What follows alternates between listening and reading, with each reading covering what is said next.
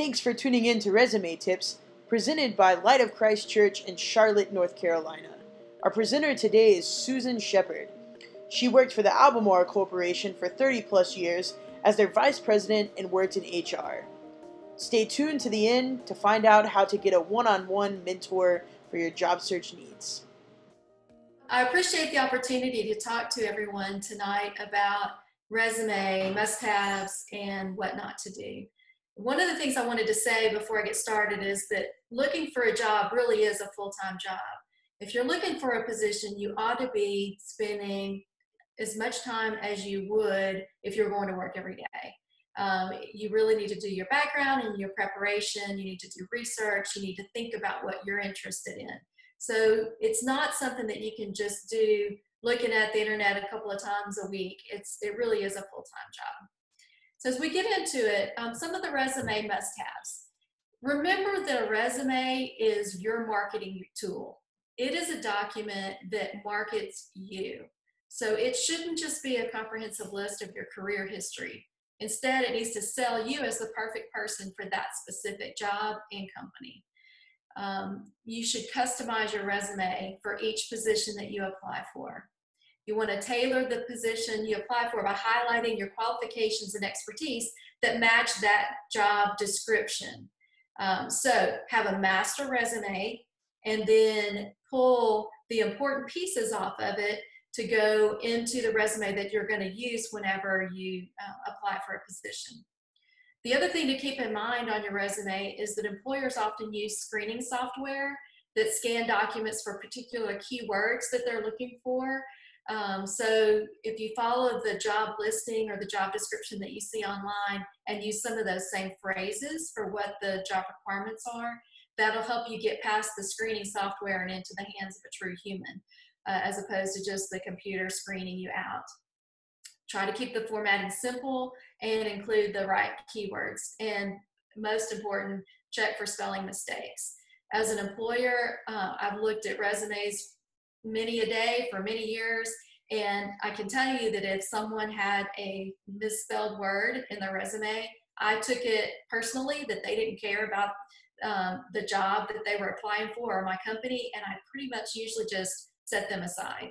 It's, it really makes a difference to an employer that you have taken the time and the effort to do everything you can to put your best foot forward. The other thing that's really important to do is to quantify your impact. Make sure that your achievements are backed by data. Um, so, for example, you would make a statement like led a 14 person team tasked with evaluating the company's supply chain system resulting in 14% cost savings 8% increase in profitability and 40% reduced turnaround delays. That, as opposed to just saying that you are responsible for the company's supply chain system.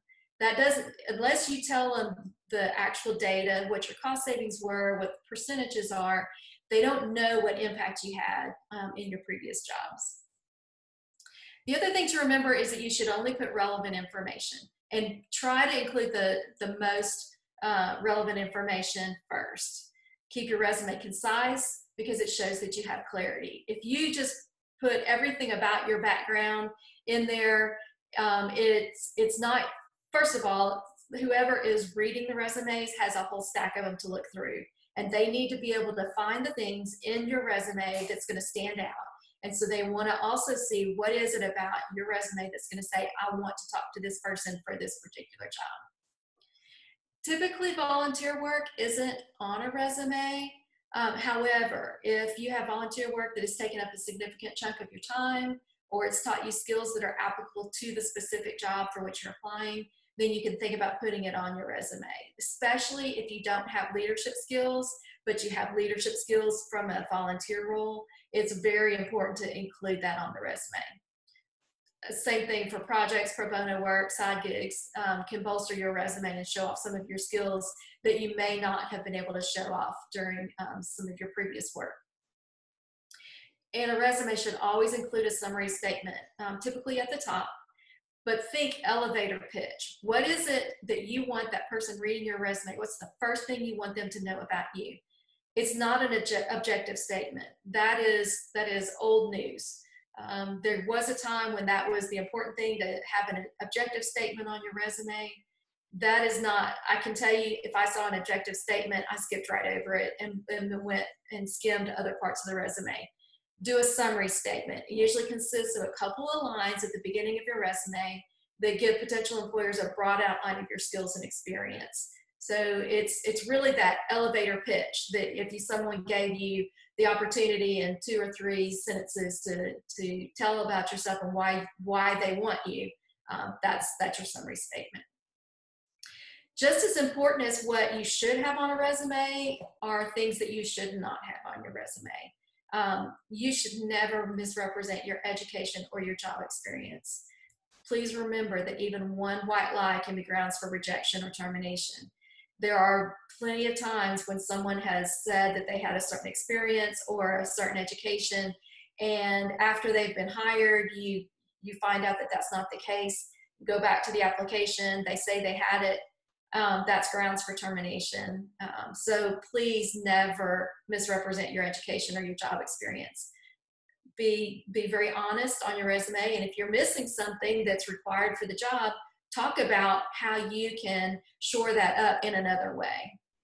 Um, you don't need to give reasons in your resume about um, why you're leaving your current position. Um, they will often ask you that in an interview, so you don't need to put that in a resume. It just takes up space, and it's and some are interested in it and some are not. Also, you need to be careful not to get too personal. You don't need to put a photo on there. You don't need to put height, social security number, marital status, or religious affiliation in your resume. This needs to all be about your professional life. Um, and then it used to be that we would put state references available upon request at the bottom of the resume. All that does is take up space. An employer knows that, or they'll expect that you will provide contacts if you're asked. So you don't need to make that statement. It just takes up space. Um, the other thing you don't have to worry about is using exact dates. You don't have to say February 2nd, 1999 through whatever date. Um, month and year is appropriate if you don't know the month, it's okay if there are some gaps in your in your resume and if you just use years. If you have the month and the year, that's perfect, but you don't have to get to the exact date. The other thing that I highly advise you don't do is don't experiment with a crazy format. Unless you're applying for a job that requires um, maybe it's a media role or a communications role that, that's going to require a lot of design and, and uh, creativity, stick to a very clean, easy to read format. Um, catch a recruiter's eye with your experience, not with wacky fonts, colors, or designs. I have seen resumes that people bring that have sent to me that have a different color font for every job or different um, style of fonts trying to uh, point something out and all it does is turn you off uh, I'm looking for a professional resume that gets to the point that doesn't make me look all over um, for the information that I want. Um, once you have had your first job after graduation, you don't need to include a college GPA anymore. The GPA kind of goes out the window once you've gotten that first job out of college, unless somebody specifically asks, and there are less and less companies that are asking for that GPA. And the other thing to not include on there is your past salary information. And in fact, in many states, it's illegal to even ask the question of what your past salary was. Um, so, so don't include that on your resume. So those are just a few tips on resumes. Just to summarize that, I would say make it clear, concise. Try to keep it to one, maybe two pages. Don't try to use a, an eight point font um, and cover up your whole page. Try to make it to where you're you got to think about the recruiter who's looking at the resume and make sure there's some things that are really important that, that point out to them why you're the most important person for that job or why they should call you for either a phone conversation or an in-person interview.